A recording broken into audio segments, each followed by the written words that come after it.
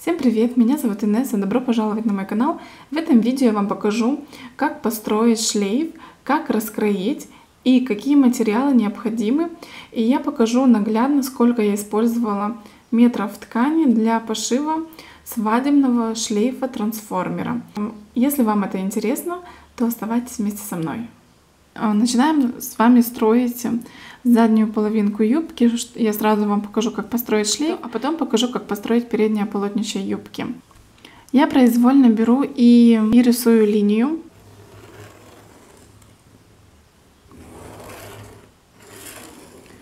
Нарисовали мы с вами линию. Это будет сгиб нашей ткани. Прямо здесь можно так нарисовать сгиб.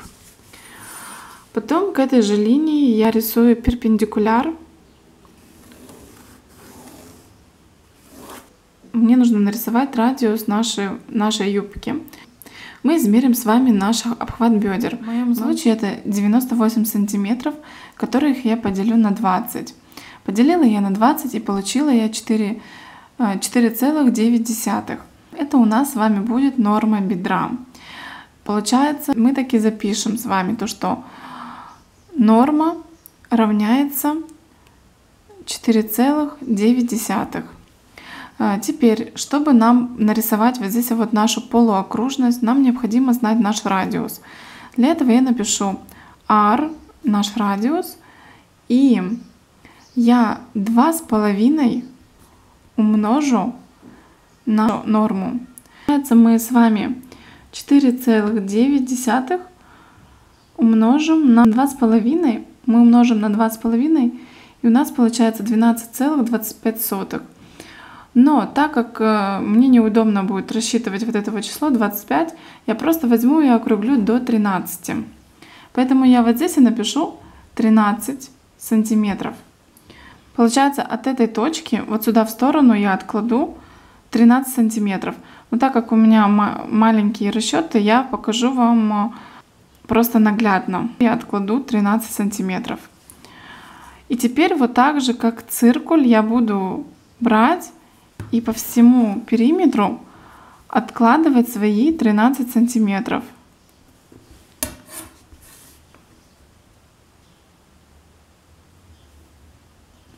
Тринадцать сантиметров. Я с вами вот такие вот пунктиры.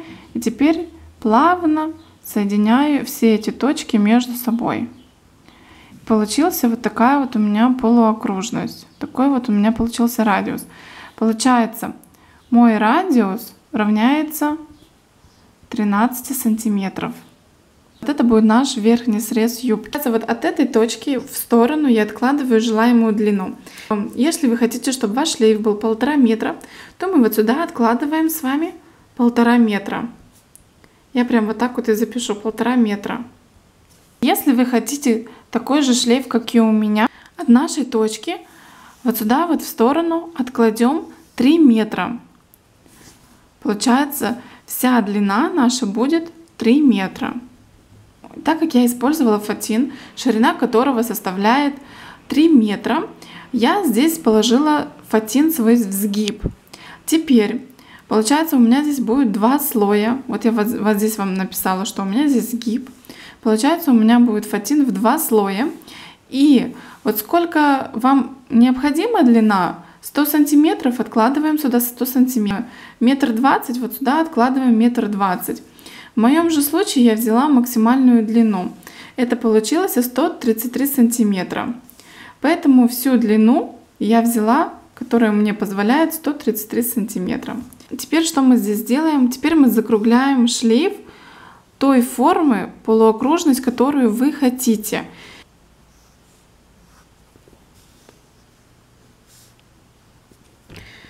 Вот смотрите, и получается у нас вот такой вот шлейф.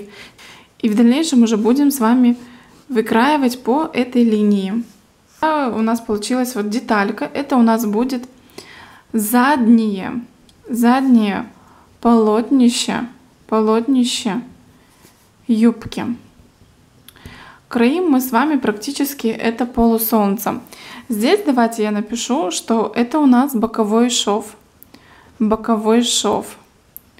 Получается, мы вот, вот эту вот детальку будем стачивать с нашей передней половинкой юбки, которую я сейчас вам покажу. Проводим линию, проводим линию, к ней мы строим перпендикуляр, к ней мы строим перпендикуляр, строить наше переднее полотнище юбки, кроем солнце. Точно так же мы полученный нами радиус в 13 сантиметров я откладываю вот сюда и откладываю вот сюда. Делаю вот такой вот я полукруг. Вам указываю, что, что радиус равняется 13 сантиметрам. Вот у нас наш радиус 13 сантиметров на задней полотнище юбки. Так как у нас боковой срез с вами был 133 сантиметров, мы с вами берем точно так же. Здесь я запишу 133 сантиметра. И, и здесь я запишу 133 сантиметров. И вот так вот, вот по всему периметру я нарисую свои 133 сантиметров.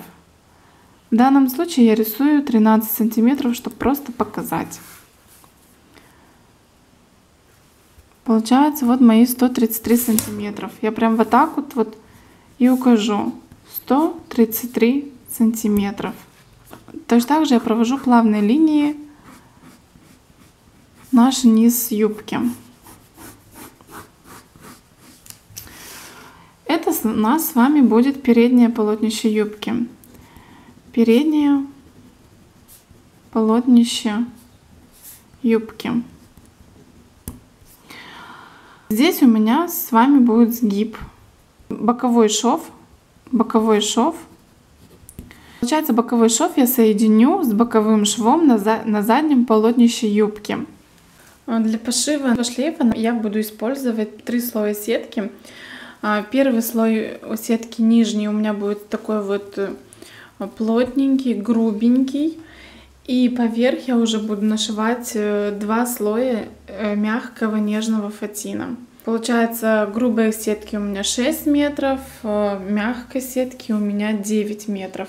По низ шлейфа я буду настрачивать также вот такую вот плотную полосочку, которая состоит также из какой-то двойной сетки плотной. Когда вы будете поправлять шлейф, шлейф будет достаточно плотненький, вот такая вот, в общем, удобная вещь. А шлейф будет трансформер съемный, получается.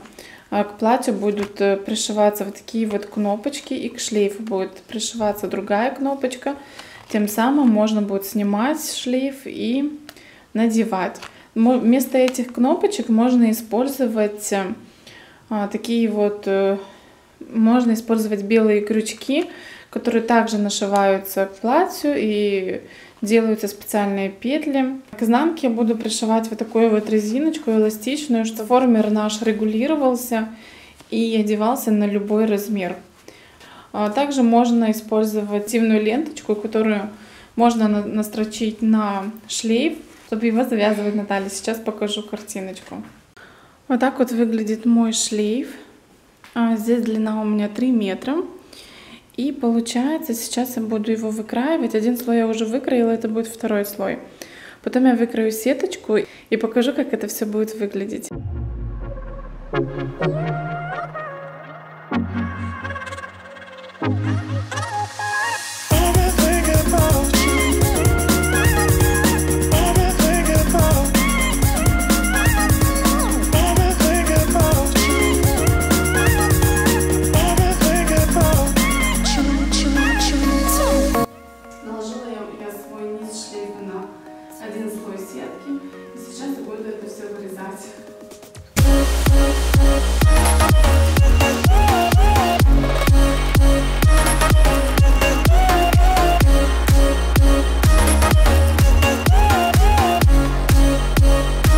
Будет выглядеть наше переднее полотнище юбки. А, сейчас я в этом вот углу нарисую 13 сантиметров по диаметру. Вот так вот я отрежу маленький кусочек. И теперь я 133 сантиметра буду отложу вот здесь, это будет наша длина юбки.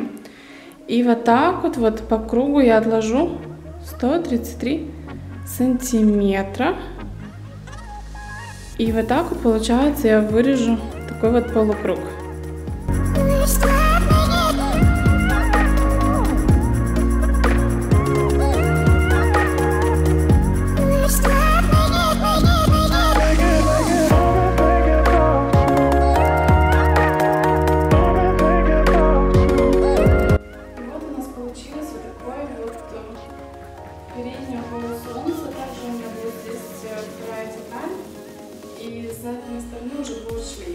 Получился вот, вот у меня вот такой вот закругленный шлейф э, в три слоя. Так как у меня нету манекена, я вот э, приколола к матрасу, чтобы посмотреть, как оно выглядит. Вот сюда на низ я использовала вот эту вот сеточку, чтобы вот у меня низ держался. Между собой я три слоя закрепила ниточками в разных местах, чтобы удобно было, когда раскладу шлейф, чтобы не искать этот фатин. Часть уходит у меня на переднее полотнище платья, и вот весь шлейф Весь шлейф у меня будет э, со стороны спинки. Меня попросили сделать шлейф на, на резиночке, э, чтобы его можно было использовать на абсолютно разные типы фигур, чтобы можно было натягивать. Пришила я вот такие вот э, кнопочки-транспаранты. Вот. Если у вас есть леска, то можно использовать леску при пошиве. А вот этот шлейф в дальнейшем будет украшаться различными стразами, цветочками. Все зависит от того, какой будет дизайн самого платья. Такой вот у нас получился, в общем, стандартный шлейф.